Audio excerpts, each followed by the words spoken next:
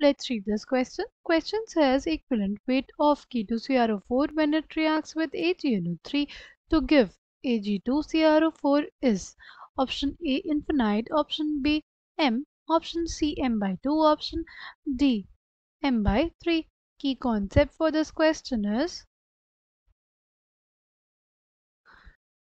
equivalent weight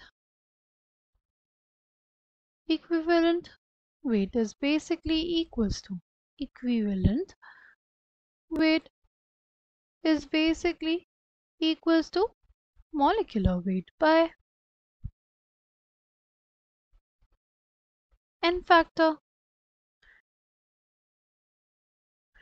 right molecular weight by n factor ठीक हमारे पास क्या है K2CrO4 रिएक्शन किससे कर रहा है AgNO3 के साथ तो क्या बन जाएगा हमारे पास?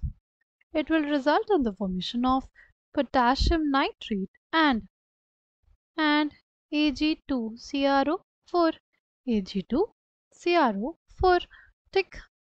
नाउ अगर हम लोग ध्यान से देखिए तो हमारे पास पूछा है इक्विवेलेंट वेट इसका, ठीक है?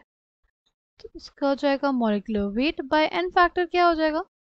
अगर हमारे पास यूजुअली ऐसे सॉल्ट्स होते हैं तो तो हम लोग देखते हैं कि एक हमारे पास जो एनाइन है, या केटाइन है, उस पर वेलेंसी फैक्टर क्या हो जाएगा?